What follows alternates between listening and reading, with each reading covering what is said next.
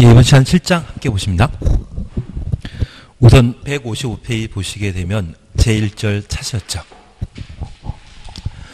특별시장 광역시장 시장 군수는 도시군 계획설 설치 장소로 결정된 지상 등의 그 도시군 계획설이 아닌 건축물 건축, 건축물부터 가로 열어놓습니다. 공작물 설치, 공작물 설치까지 가로 닫아놓습니다. 허가하여서는 아니 된다. 한 장 넘기십니다. 제2절과 관련되어서는 5월 달에 해 나가실 겁니다. 그리고 3절 보시게 되면 장기 미집행 도시군 계획설 부지의 매수 청구 차셨죠. 그리고 1. 매수 청구와 관련되어 1번, 2번을 묶어 놓습니다. 양가 1번 매수 청구권자와 2번 매수 의무자 묶어 놓으시는데 앞에다가 별표 3개 해 놓으십니다. 그리고 1번입니다. 도시군 계획설에 대한 도시군 관리계획 결정 고시부터 얘를 약칭해서 도시군 계획시설 결정 고시라고 달리 표현하게 됩니다. 10년 이내 10년 동원해 놓습니다. 도시군 계획설 설치에 관한 도시군 계획설 사업이 시행되지 아니한 경우 가로 속에 실시계획인가 추천오시고 제외한다. 제외 동그라미 해놓습니다. 그 도시군 계획설 부지로 되어 있는 토지 중에 지목대, 지목대 동그라미 해놓습니다. 토지 소유자는 매수 의무자에게 대통령령이 정하는 바에 따라 그 토지의 매수를 청구할 수 있다. 그래서 10년간 사업 시행하지 않았다고 하면 지목대인 토지 소유자는 매수 청구할 수 있다. 이걸 확인해 주셔야 됩니다. 그리고 한 장 넘기십니다.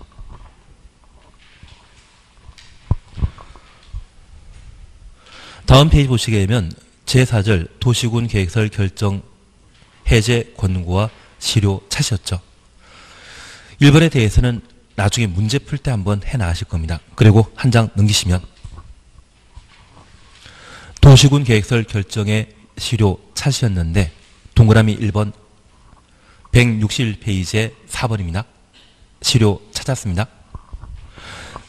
동그라미 1번 도시군 계획설 결정 고시된 도시군 계획설에 대해 그 고실부터 20년 지날 때까지 그 시설 설치에 관한 도시군 계획설 사업이 시행되지 아니한 경우 도시군 계획설 결정은 고실부터 20년 되는 다음날 20년 되는 다음날 가로 해놓습니다. 다음날 줄쳐 놓습니다. 효력 1년다.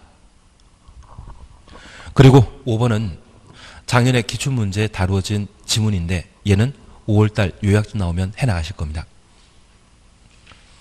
그러면 이제 이걸 잠깐 봐놓습니다. 우리가 도시군 계획설 사업과 관련되어 첫 번째 개념 함께 보시면서 도시군 계획설 사업이란 도시군 계획서를 설치 정비 개량한 사업을 말했습니다. 그리고 도시군 계획설은 도시군 관리 계획으로 결정된 시설을 말했습니다.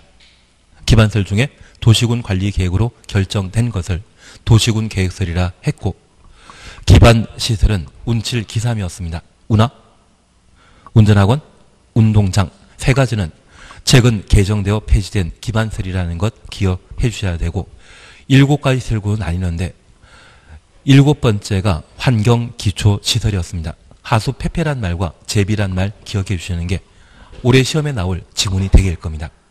그리고 이 도시군 계획설 사업은 도시군 계획설 부지에 이루어지는데 사업 시행하는 것과 사업 시행 안 하는 경우가 있었습니다. 사업 시행하게 되면 최근 개정된 사항으로 단계별 편 계획은 입안권자가 도시군 계획설 결정 고시부터 3월 이내 수립하여야 한다. 그래서 각종 행정계획은 수립하여야 하고 지역, 지구, 구역, 장소에 관한 개념은 지정할 수 있다입니다. 그리고 이 단계별 편 수립 시에 사전 절차로서 지방의회 의견 청취와 관계 행정기관의 협의 절차 거친다라는 것을 확인해 놓습니다. 그리고 사업 시행자와 관련되어서는 행정청과 비행정청으로 보는 시각이 있고 공공과 민간으로 구분하는 시각이 있었습니다. 가장 중요한 것은 민간인 때만 토지 소유자의 동의와 돈을 내는 겁니다. 비행정청이 도시군 계획설 사업 시행자로 지정되기 위해서는 입안권자에게 지정받아 도시군 계획설 사업 시행할 수 있다는 것 확인하시고 그 비행정청 중에 민간인 경우에만 토지 소유자의 동의 받은 때 지정받을 수 있습니다. 그리고 세 번째 우리 보셨던 것은 수용 사용에 관한 내용을 함께 보셨는데 도시군 계획설 부지에 대해서는 수용 사용할 수 있지만 인접한 토지 등에 대해서는 일시 사용만 할 수 있고 저 수용할 수 있는 요건은 실시객 고시 한때 토지를 강제 수용할 수 있다. 거기까지 잡아주셔야 됩니다. 그러면 이번 시간에는 절차와 관련된 두 번째 내용으로 도시군 계획설 사업을 시행하지 않았을 때입니다. 도시군 관리 계획으로 도시군 계획시설 부지가 결정되게 되면 그 도시군 계획설 부지는 수용 대상이거든요. 저 수용하게 되면 수용되는 토지 소유자에게 정당한 보상을 하도록 되어 있습니다. 저 정당한 보상은 시가대로 보상하는 것입니까? 반값에 보상하는 것입니까? 반값에 보상하는 겁니다. 그게 헌법에 나와 있는 정당한 보상의 개념입니다. 그런데 우리가 이해하실 것이 있습니다. 만약 2008년도에 세종시가 만들어지면서 공원 용지로 결정되었다면 저 공원은 도시군 계획설 부지이거든요. 그리고 2019년 되었는데 아직 수용 안 됐다고 하면 보상도 없습니다. 수용되었을 때만 보상받는 것이고 2019년이 되었는데 불과 아직 수용되지 않았다고 하면 보상을 지급하지 않습니다. 저 공원 용지의 토지 소유자는 공원 만드는 게 중요합니까? 자기 살집 만드는 게 중요합니까? 아닙니다. 공원이 중요합니다. 공원은 공익사업이고 땅 주인이 자기가 살집 짓는 것은 사익 사업에 해당되기 때문에 저 도시군 계획설 부지로 결정된 장소에 대해서는 자기 땅이라 할지라도 자기 집을 자기가 건축할 수 없습니다. 그래서 저 도시군 계획설 부지에는 하긴 내 살집이 중요하지 공원이 중요하겠습니까 사실은? 그게 사람 마음이지 않겠습니까? 그게 정답은 정답이십니다.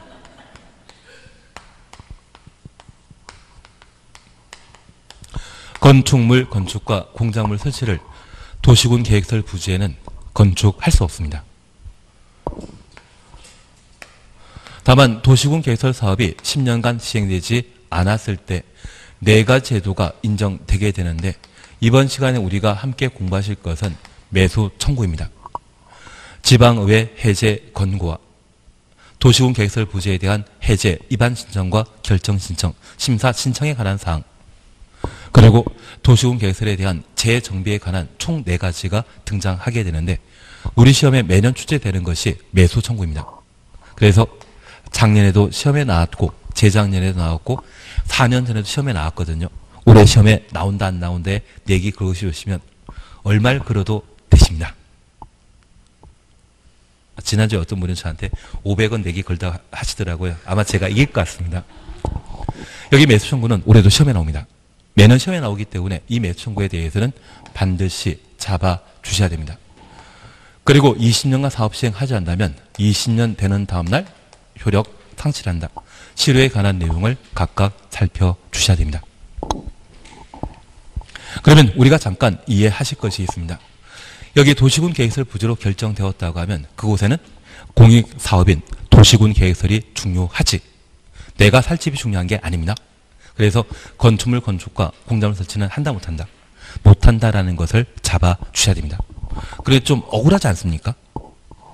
분명 소유권은 내, 나한테 있는데 공익사업 때 공익사업 때문에 내 땅을 내 마음대로 사용하지 못한다면 참 억울하죠. 그래서 대한민국의 최대 규모의 계획 도시가 만들어진 게 바로 세종시입니다. 우리가 알고 있는 분당 신도시라고 하면 한 20만 수용하는 도시이거든요. 세종시는 지금 80만까지 계획하고 있습니다. 이런 계획 도시가 대한민국의 최대 규모라고 하면 세종시밖에 없습니다. 그런데 최초 신도시 개발 사업은 1970년대 강남 개발 사업하면서 이루어졌거든요. 저 1970년대 강남 땅은 대부분 배추밭이나 무밭이었습니다. 그리고 계획도시 만들면서 다양한 기반설로서 공원 용지를 결정했는데 98년도가 되도록 공원 만들지 않고 그냥 방치되었던 적이 있습니다. 사실 1970년대 이 공원 용지인 배추밭 무밭이라면 가격 얼마 안 됐겠지만 그 당시 국가 예산이 없다 보니 수용을 못했거든요. 그리고 1998년 되고 나니 그 땅이 한 평당 1억까지 올라간 곳도 있습니다. 그리고 지금은 좀 더 올라갔을 겁니다. 그게 1000평, 2000평씩 공원 부지로 방치되고 한 30년 가까이, 30년 가까이 재산권 행사를 제대로 하지 못했다고 하면 토지 소유자가 억울해 할 수 있죠. 우리가 민법 공부하시면서 재산권 행사 방법은 사용 수익 처분이었습니다. 처분이 중요한 것입니까? 사용 수익이 더 중요한 것입니까? 사용 수익이 더 중요하지 않습니까?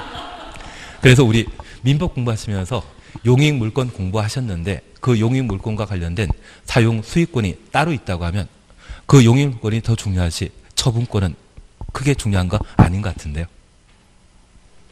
이 그렇게 하셔야만 민법 정리가 좀 되실 겁니다. 처분권보다는 사용 수익권이 좀 더 중요하다라는 것을 생각해 주셔야 됩니다. 그래서 저 공원 용도에 결정된 도시군 계획설 부지 소유자가 98년도에 헌법재판소에서 위원을 제기하셨습니다. 그리고 헌법재판소에서는 2000년도에 30년 가까이 토지를 제대로 사용 수익하지 못하게 한 것은 지나친 규제이고 헌법이 보장하고 있는 재산권 침해에 해당된다 해서 헌법 불합치 결정을 내린 적 있습니다. 그리고 2002년까지 헌법에 불합치한 규정들을 개정하라고 요구를 했거든요.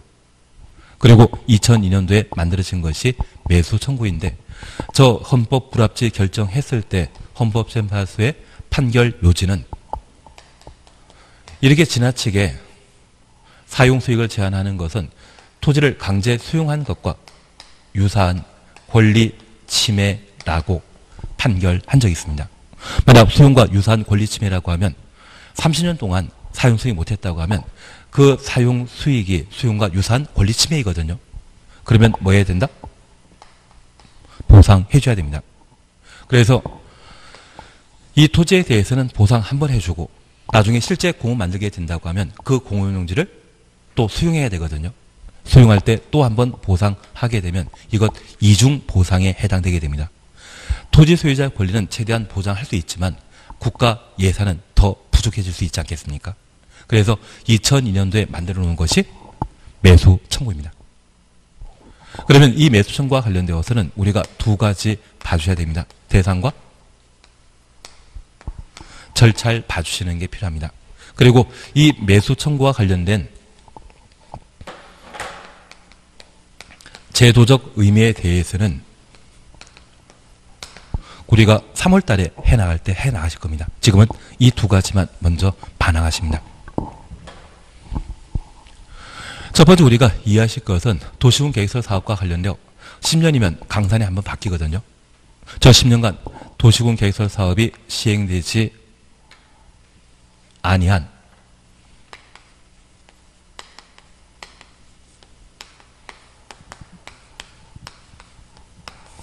지목 대인 토지 소유자가 저 매수 청구와 관련된 매수 청구권자입니다.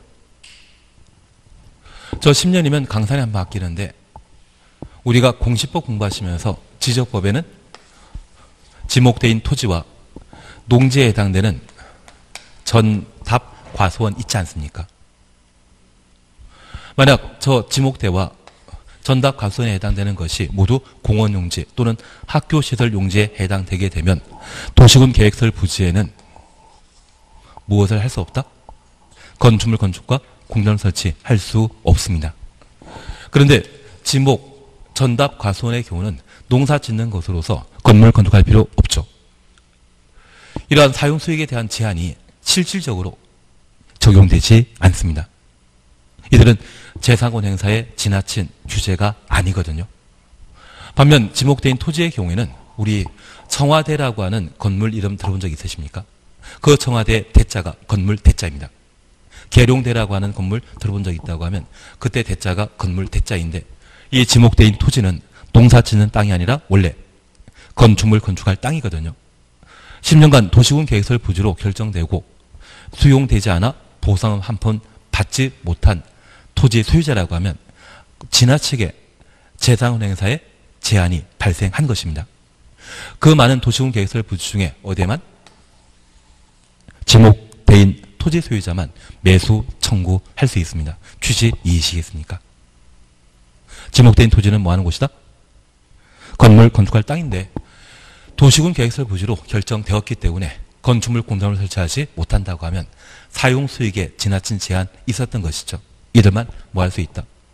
매수 청구할 수 있습니다. 그러면 저 매수 청구권자를 파악하셨다고 하면 우리가 민법 공부하시면서 매수 의무자도 함께 생각할 수 있죠. 보통 법률행위는 하나의 의사표시로 구성되는 경우도 있지만 둘 이상, 둘 이상의 의사표시로 구성되는 경우도 있을 겁니다. 매수 청구권자가 있다면 매수 의무자도 존재해야 됩니다. 그러면 이러한 매수 의무자는 우리 도시군 계획서 사업과 관련된 원칙적인 시행자는 누구이다? 특광 시군입니다. 그러면 장기 미집행 도시군 계획설 부지에 대해서 우리 세종시의 준자는 공원 용지라고 하면 누가 사줘야 된다? 세종시장이 사줘야 됩니다. 그래서 저 매수 의무자는 원칙적으로 특광 시군이 되는 겁니다. 그런데 우리는 도시군 계획설 사업은 총 몇 단계로 구성되어 있다? 3단계였습니다. 1단계는 도시군 관리 계획에 따른 입안 결정 구시였죠.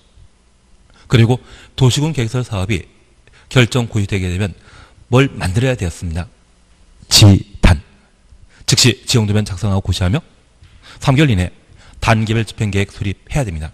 그리고 2단계는 시행자가 실시계획 작성해서 인가 받도록 되어 있는데 내가 내 집을 만들 때 건축 신고가 아니라 건축 허가 절차를 거치게 되면 보통 5, 6개월의 처리 기간이 필요합니다.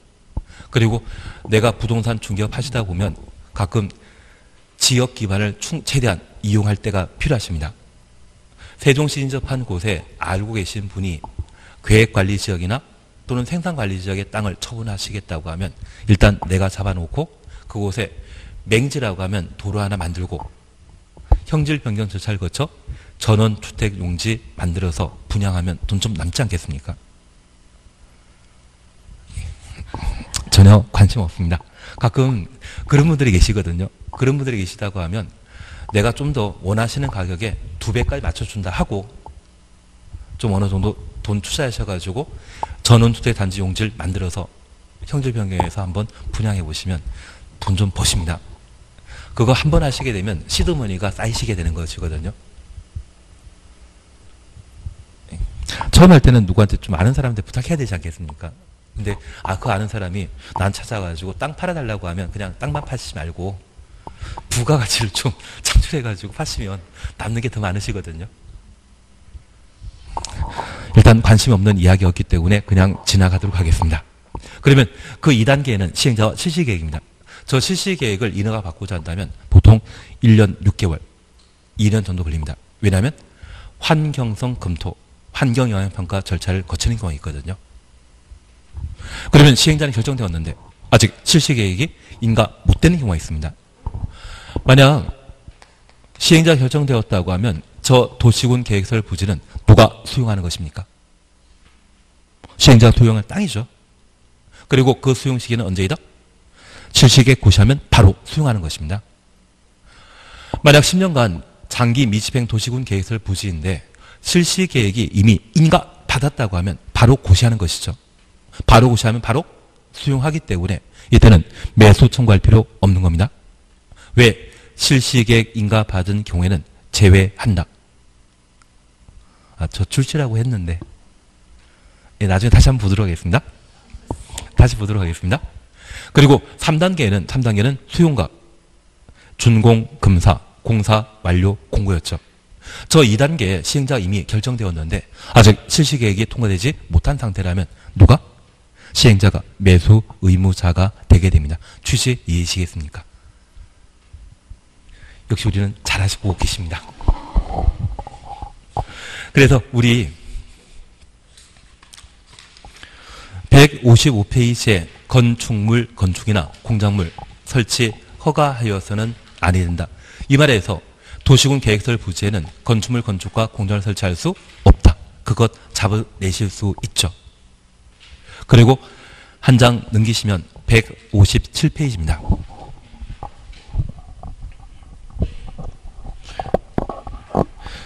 (157페이지에) 1번 매수 청구권자와 매수 의무자 묶어놨습니다. 이것을 우리는 매수 청구와 관련된 대상으로 보게 됩니다. 도시군 계획설에 대한 도시군 관리계획 결정 고지부터 몇 년? 10년간 사업 시행되지 아니한 도시군 계획설 부지로 결정된 토지 중에 지목 대인 토지의 경우에는 매수 청구할 수 있다. 확인되시겠습니까? 10년의 말과 지목대란 말을 꼭 확인해 주셔야 됩니다. 그리고 양가로 2번 확인되십니다. 1번 원칙입니다. 특별상 관상 시장 군수에게 그 토지의 매수를 청구할 수 있다. 매수 의무자는 원칙적으로 누구? 특광 시군이라는 것 확인해 놓습니다. 그리고 2번 예외 찾으셨고 박스에 1번 찾으셨죠. 시행자, 시행자 추천 없습니다. 도시군 계획설 사업의 시행자가 정하여진 경우에는 누구에게? 시행자에게 매수 청구할 수 있습니다. 이번 예외와 관련되어서는 크게 신경 쓰지 마십시오. 나중에 문제 풀 때 잠깐 보시면 될 겁니다. 그리고 3번 지나가시고 4번 매수 절차 찾으셨죠. 양가로 4번입니다. 매수 의무자는 매수 청구받은 날부터 6개월, 6개월 동굴해 놓습니다. 매수 여부 결정하여 토지 소유자와 특광 시군에게 알려야 한다. 그래서 토지 소유자부터 특광 시군까지 가로 해놓습니다. 한 장 넘기십니다.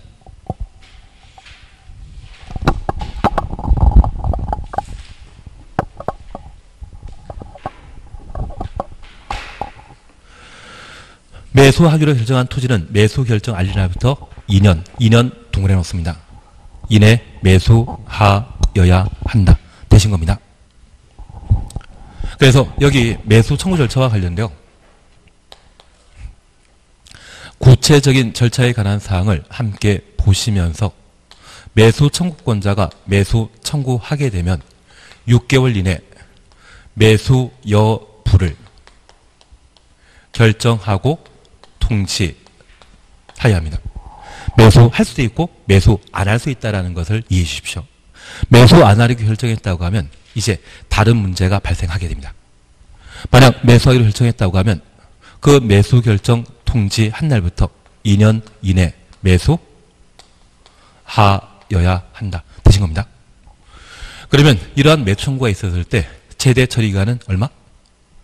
2년 6개월이 된다는 것을 확인해 놓습니다. 그리고 두 번째입니다.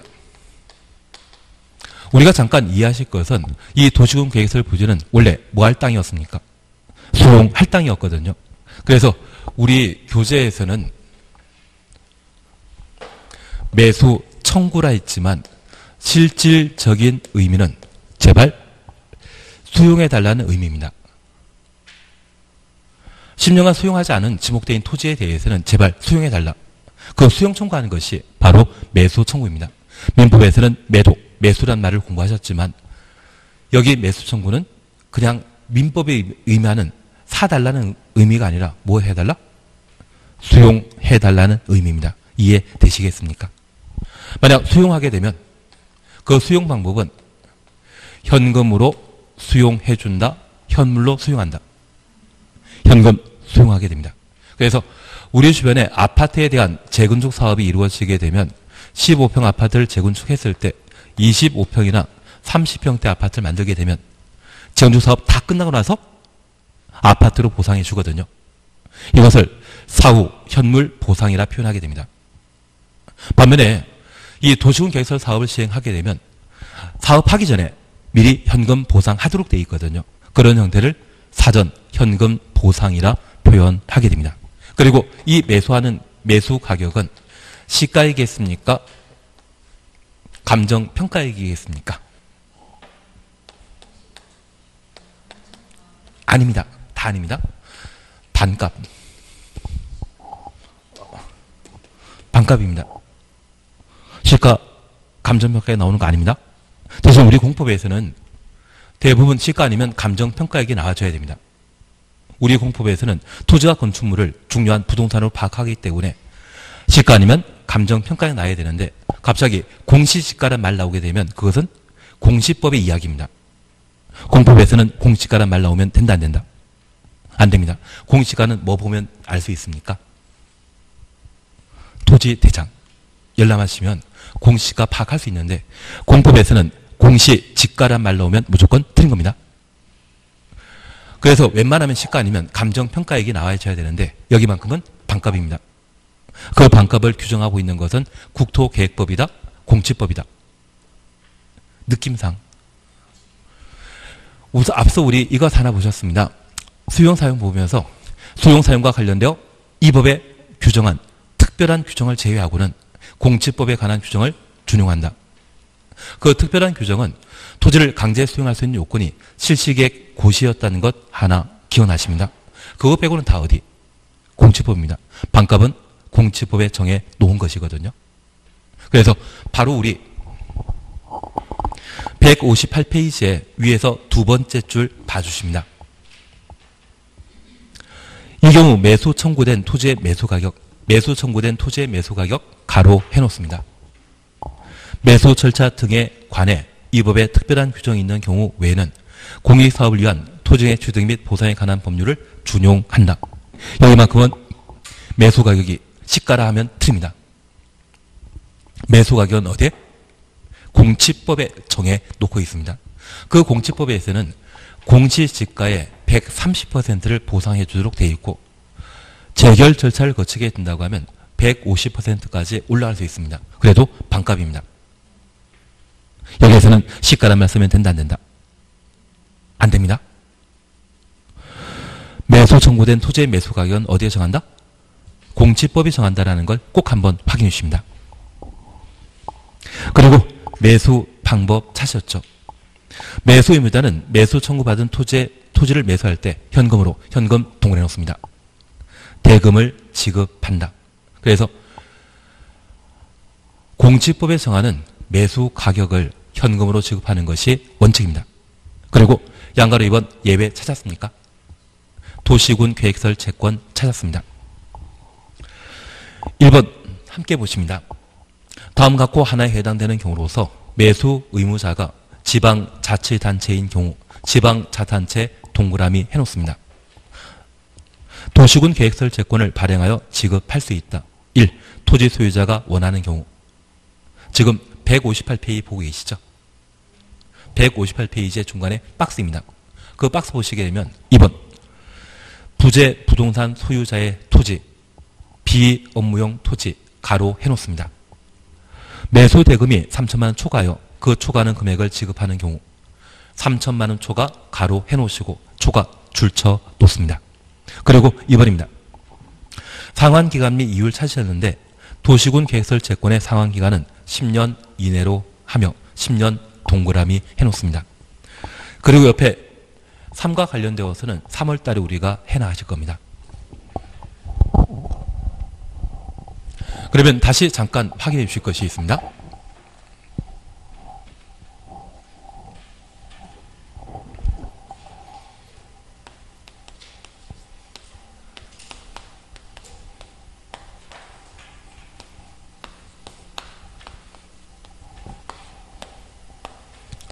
도시군 계획설 어, 도시 도시군 계획설과 관련된 매수 청구했을 때 매수 청구하면 6개월 내 매수 여부 결정 통지하고 매수하기로 결정했다면 2년 내 매수하여야 한다. 그리고 이를 매수하게 되면 원칙적인 매수 방법은 현금으로 매수하고 그 매수 가격은 시가나 감정평가액이란 말 나오면 안 됩니다. 공치법에 따른 매수 가격을 지급하게 되는데 그것은 반값입니다. 이해되신 겁니다. 그런데 우리 세종시가 현금이 부족할 수 있죠. 현금 부족하다고 하면 도시, 군, 계획 시설, 채권을 발행할 수 있습니다. 이번에 기반설의 설치를 도시군 관리 계획을 결정했다면 걔를 뭐란다? 도시군 계획 시설이라고 현금 지급하기 곤란하기 때문에 채권 발행하겠다는 이야기입니다. 그러면 저 채권 발행은 원칙이다 예외이다. 원래 수용하면 현금 보상해야 되거든요. 도시군 계획설 채권 발행은 원칙이 아닌 예외였습니다.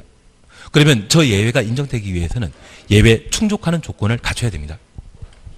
저 예외 충족하기 위해 도시군 계획시설 부지에 대한 매수 의무자가 누구일 때? 원칙적인 도시군 개설 사업의 원칙적인 사업 시행자는 누구이다? 특광시군이고 원칙적인 사업 시행자가 특광시군이기 때문에 도시군 계획설 부지와 관련된 장기 미집행 도시군 계획설 부지에 대한 매수 청구에 상대방은 원칙적으로 누구? 여기 원칙 있으실 텐데요. 특광시군, 특광시군은 누구다?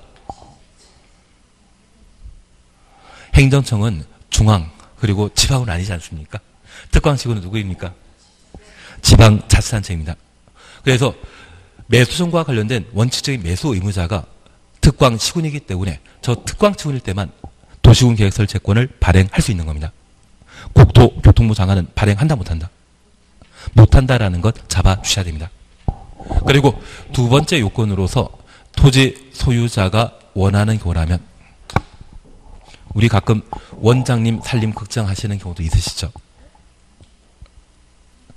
원장님이 이렇게 하면 어떻게 잘 사실까 걱정 안 되십니까? 예, 전혀 걱정 안 하고 계십니다. 원장님은 그냥 합격만 잘하시면 된다고 합니다. 그리고 가시고 나서 아는 사람 두 명만 추천해 주시면 된다고 하시더라고요. 아, 수익자 보다 원칙에 따라 1년 만에 붙고 나가셨다고 하면 그런 것도 괜찮으실 것 같은데 별로 도움되는 이야기가 아니었습니다. 그러면 우리가 잠깐 이해하실 것이 있습니다. 가끔 저 도시군 계획설 부지에 매수 청구한 분이 세종시에 살림 걱정해 줄 때도 있거든요. 그래서 나는 현금 대신 채권 받을래. 전액 채권 받는 분도 계십니다. 이분 피성년 후기인 선고나 피한정 후기인 선고가 필요한 분 아닌가요? 아, 빨리 돈 받는 걸 좋아하지. 채권 달라고 하는 사람은 좀 제정신이 아니실 것 같습니다. 그리고 두 번째, 내가 세종시에 살고 있는데 부산이나 서울에 땅을 가지고 있다고 하면 그분을 부재 지주라 표현하게 됩니다. 저 부재 지주를 부재 부동산 소유자라고 달리 표현합니다. 그리고 비업무용 토지. 그 가치가 3천만 원까지는 현금 지급하도록 되어 있고 3천만 원 초과하는 금액에 대해서는 비업무용 토지 소유자는 원하지 않더라 원하지 않다 할지라도 3천만 원 초과하는 부분에 대해서는 뭐할수 있다? 채권 발행할 수 있는 겁니다. 그래서 3천만 원까지는 무엇으로? 현금 지급하고 초과하는 금액에 대해서만 뭐 한다? 채권 발행할 수 있습니다. 그리고 이 도시군 계획설 채권과 관련된 특이한 사항으로 상환 기간은 몇 년이다? 10년 이내로 하도록 되어 있습니다. 하나 이해하실 것이 있습니다. 만약 우리 주변에 재테크 차원에서 땅에 투자하는 분이 계십니다. 20대가 투자하면 30대가 투자하는 거 가능하다 불가능하다. 20대 30대 숟가락 색깔이 다르면 20대일 때도 아니 미성년자일 때도 투자할 수 있습니다. 대신 정상적인 상황이라면 토지에 투자하는 시기는 아마 40대 중반이 되게 될 겁니다. 그리고 내가 땅에 투자했는데 큰 돈 버셨다고 하면 계속 부동산에 관심 두시지만 간혹 아닌 경우가 있습니다. 제가 아는 분이 40대 중반 때 태안 쪽에다가 펜션 만들겠다고 땅을 구입하셨거든요. 한 달 뒤에 기름 석유 유출 사고가 발생한 적이 있습니다. 그리고 그 땅 제대로 거래도 안 됐거든요. 한 몇 년간 고생하셨습니다. 그리고 한 2004년도에 노무현 대통령 들어서시면서 지방 균형 발전 이루신다고 지방의 정부 투자 기간 이전시키고 혁신 도시 하겠다고 하신 분이 하신 적이 있거든요. 그래서 혁신 도시 예정지를 합치고 투자하셨는데 길 건너편은 혁신 도시 예정지 지정되고 자기 땅은 벗어난 적이 있습니다. 그때 많은 대출 끼고 투자하셨거든요. 진짜 고생 많으셨습니다. 그렇게 한두 번 실패하셨다고 하면 부동산에 대해서는 인연을 끊어버리시는 게 제일 낫습니다. 아, 진짜 그런 것 같습니다. 그리고 이분이 땅을 구입하셨는데 그 다음날 도시군 계획설 부지로 결정되었습니다. 이분도 그분과 똑같으신 분입니다. 소송될 때까지 보상은 받는다 못 받는다. 아, 평당 100만 원 샀다면 50만 원도 못 받는다는 이야기입니다. 그리고 10년이란 시간이 지나고 그 땅이 우연찮게 지목될 때만 뭐 할 수 있습니까? 매수 청구할 수 있거든요. 10년 지나면 이분 나이는 이제 50대 중반이시고 이 법이 2002년도에 제정된 법률입니다. 98년도에 헌법재판소로부터 헌법 불합치 판결 나오고 그리고 2002년도에 만들어졌거든요. 그러면 2002년 당시에는 환갑 잔치가 중요한 행사였다? 무시당했다. 아, 중요한 잔치지 않았습니까? 요즘은 별일 아니지만 그 당시엔 참 중요한 것이었습니다. 그래서 비오명 토지나 부재, 지주의 땅이라고 하면 환갑 잔치만큼 잘 치러보라고 얼마? 3천만 원까지 주는 겁니다. 왜 3천만 원 주는지 이해되시겠습니까? 잘, 잘 치러보라고. 그리고 또 10년이 지나게 되면 이젠 뭐 하셔야 되겠습니까? 칠순 잔치 치러야 되지 않습니까? 그래서 도시군 계획설 채권의 상환기간은 몇 년이다? 아, 지금, 아, 10년 지나야 칠순이지. 20년이면 8순이 되어 버리십니다. 그래서 도시군 계획설 채권의 상환기간은 몇 년이다? 10년입니다. 진짜 인간적인 법률이지 않습니까?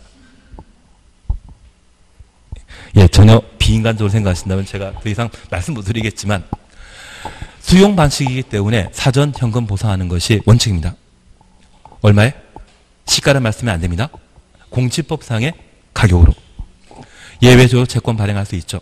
채권 발행할 수 있는 예외 조건은 매수 의무자가 지방 자치 단체이고 소유자가 원하거나 부재, 지주의 땅, 비오면 토지로서 3천만 원 초과하는 부분에 대해서는 채권 발행할 수 있다는 것 기억하시고 현금은 얼마까지? 3천까지 준다. 3천까지 준다. 그리고 상환기간 몇 년이다?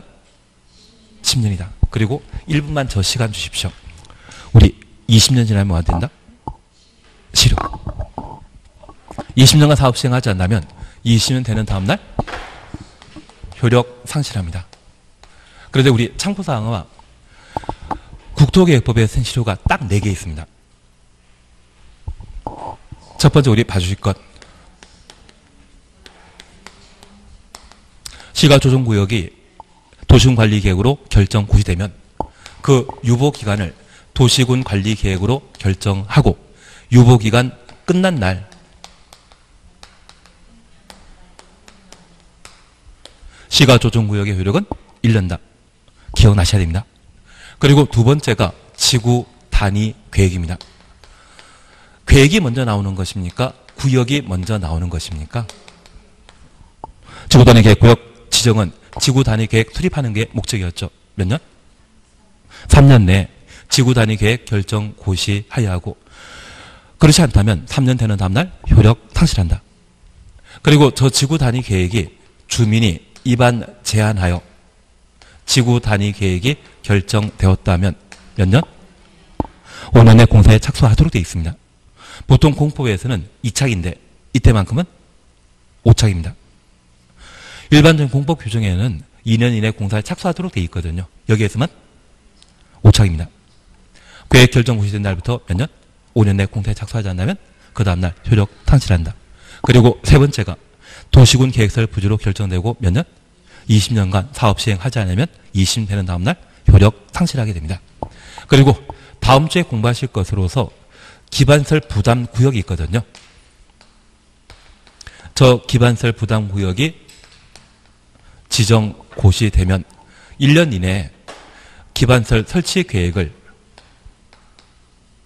수립하여야 하고 수립되지 않으면 기반설 부담 구역이 해제된 것으로 본다. 그래서 실질적으로 공법엔 국토계획법에서는 시료가 다섯 개입니다. 시가 조정구역 유보기간 만료일 다음 날입니다. 구역 지정하고 3년 내 계획 수립해야 되고 주민 입안 제한은 지구 단위 계획의 경우에는 몇 년? 5년 내 공사에 착수해야 되며 방금 보신 20년 기억나시죠? 그리고 기반설 부담 구역이 지정고시 되면 몇 년? 1년 내 기반설 설치 계획을 수립해야 됩니다. 그래서 오지 선다 문제 가능하거든요.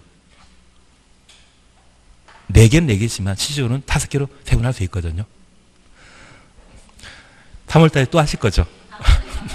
3월달에 또 하실 거죠? 그러시면 되십니다. 오늘 고생 많으셨는데요. 수고하셨습니다.